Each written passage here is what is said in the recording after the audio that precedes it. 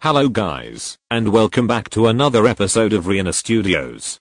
I've been meaning to make this video for a while, but I keep forgetting to. Anyways I started a TikTok, if you want you can follow me on there. It's the same name as the channel as you can see. That's all for today, bye everyone.